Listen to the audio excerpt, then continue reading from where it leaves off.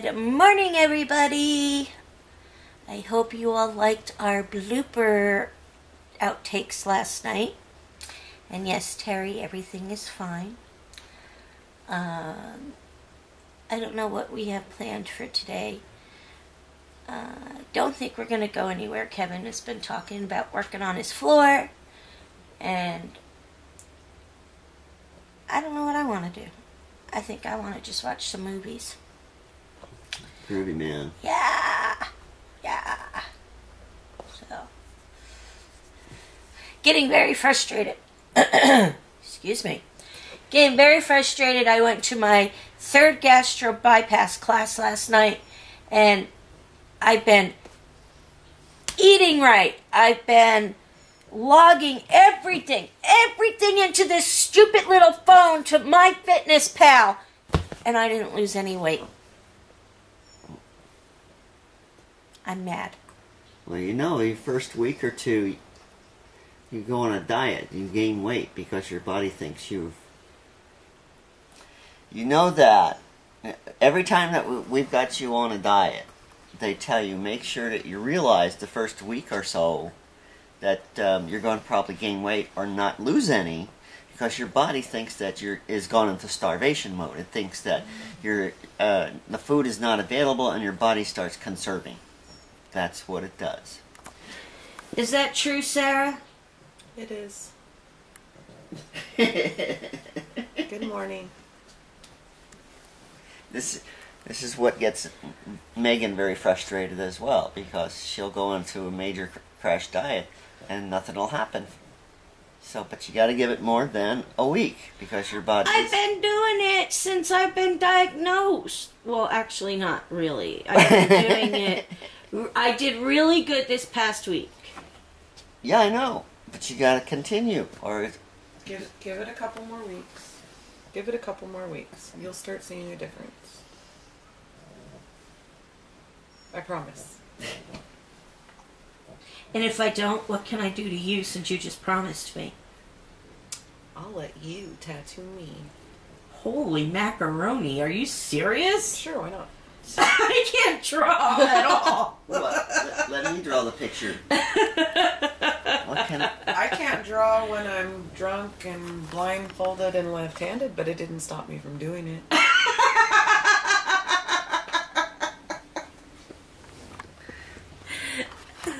Someone's got to show me my back. When was that?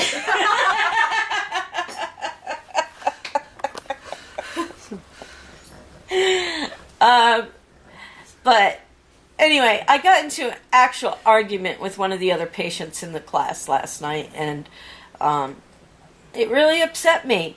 And she kind of told me she doesn't think I should be in the class. And, you know, I confronted her afterwards and uh, told her she has no idea what my my illnesses are, so she has no right to say anything. So. Anyway, I'm going to try and convince my husband to maybe watch a movie or two with me, even though I know he wants to work on the floor. Yeah, one of these days I'll get to work on the floor. but and also watching a movie, a two-hour movie, takes about four hours. Right? Well, we need to figure out lunch because I just got up and I haven't eaten yet. Okay. Okay, so this is today's project. Uh, I need to smooth out this corner to put tile over it. This actually used to be the edge of the house, but um, some previous owner at some point had uh, removed part of the wall here, made it an entryway. I do believe there was probably a sliding glass door in part of this. So this is actually the outside of the house that we're looking at. Now, I have um, the concrete was cut away kind of roughly didn't matter because they just carpeted it over it. And um, I'm having some issues with this. First of all, some this is plaster, just a standard plaster, and it's not adhered. Now I'm not sure if I need to, to, to remove all of this all the way back or if I can just glue this on. I, I get the feeling it needs to come off because it's rough and it's going to be very difficult to adhere tile to it. I have um, travertine is what I'm putting on and it's soft and I'm it's very important that it's going to be on a very solid edge or uh, first time someone steps on it it's going to crack. My biggest issue. This corner has been my biggest fear, so I need to deal with that. So, so I need to deal with that first thing. So let's see how what's going to happen. I get the feeling that I'm going to end up having to take it all off. Alright, so I got myself a grinder with a, uh, a concrete grinding uh, blade on the end. And I'm going to try and smooth this out. And I don't need your help, team. I don't. And so I'm going to uh, grind down the edge and see if I can not take off all of this edging and see what's going on.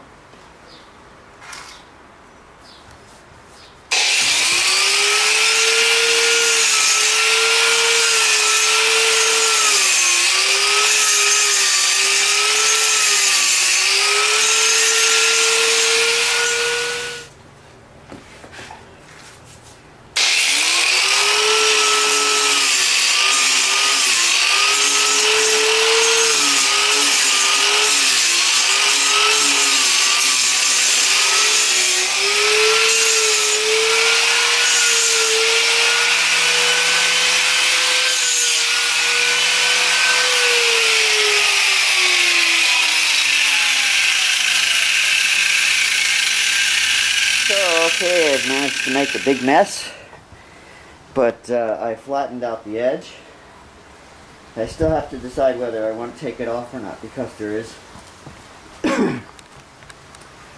whole sections there that are not stuck on. And I'm not sure what to do about it. Besides just taking it all off. No falling, Boomer. Yes. Here comes Boomer. Come on, boom, boom. Come on, boom, boom. Hi, everybody. So Kevin's done doing what he needed to do in the dining room on the floor. Where you going, Kane? And I went back to bed after we ate.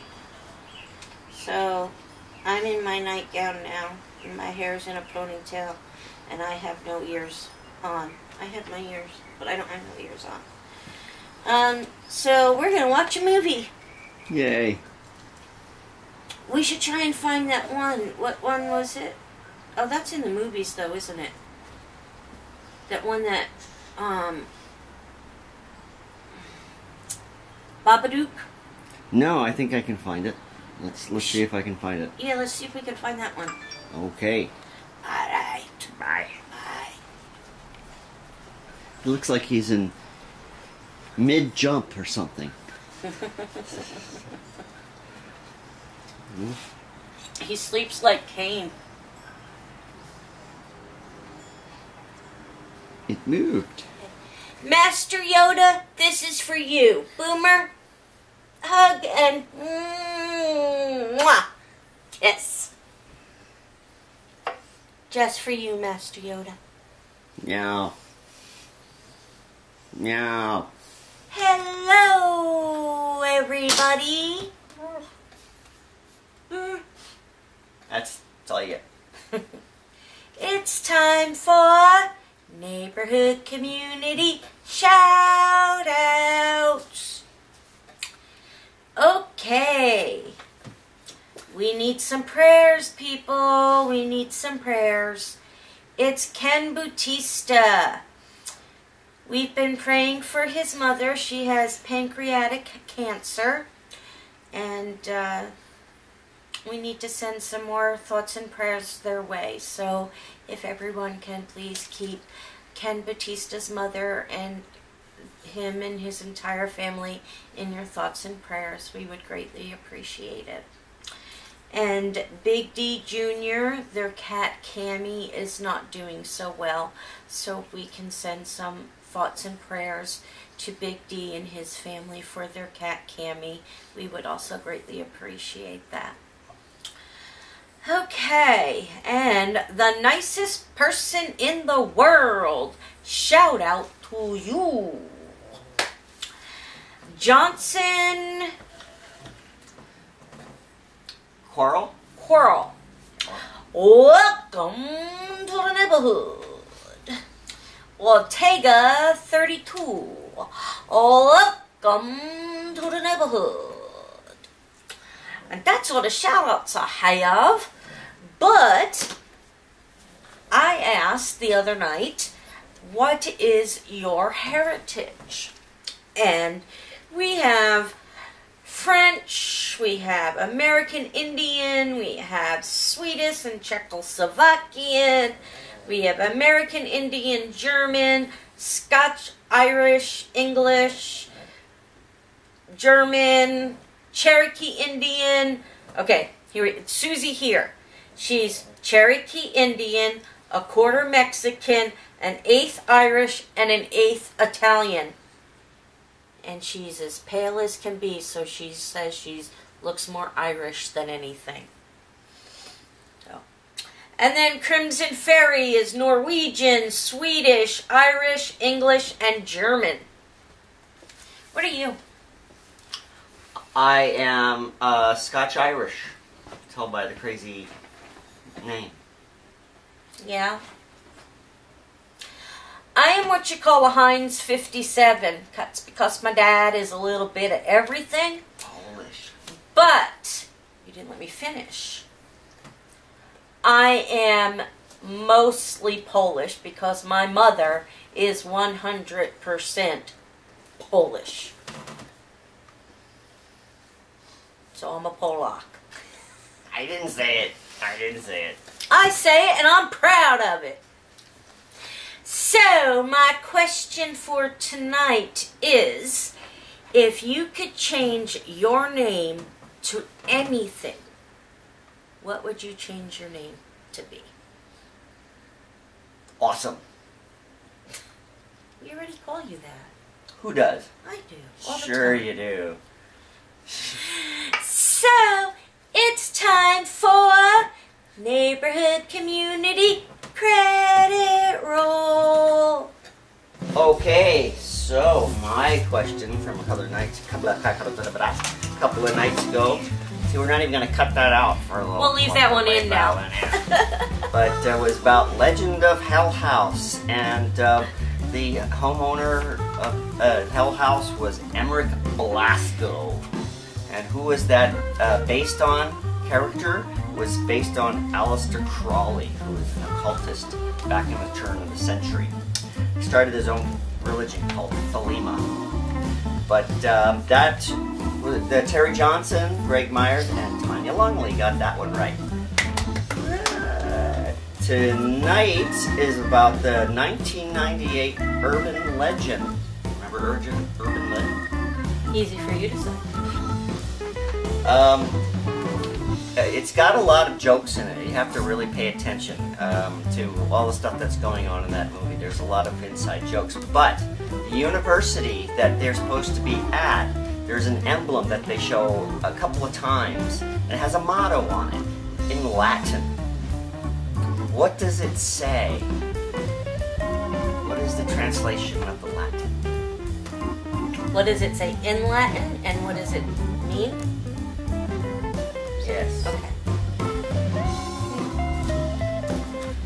Saying it in layman's terms, I guess. I hope everybody enjoyed our blooper reel last night. Um, we had a lot of fun putting that together. Um, we do have more bloopers, and periodically we'll throw one up once we get a, a group of them together. So, Anyway, there you have it. There's your question of the day and your trivia question. And you are all part of our neighborhood community, each and every one of you out there. We would not be here if it weren't for all of you out there. We love you all very, very much. Thumbs up, and we will see you all tomorrow. you can't do that. Oh.